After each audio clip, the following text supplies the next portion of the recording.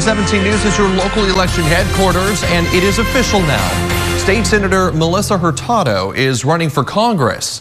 We first reported last week that she was expected to run, but now Hurtado has officially registered a statement of candidacy with the Federal Election Commission office.